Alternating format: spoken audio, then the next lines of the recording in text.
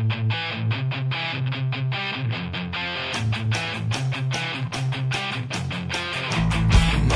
liked talking dolls.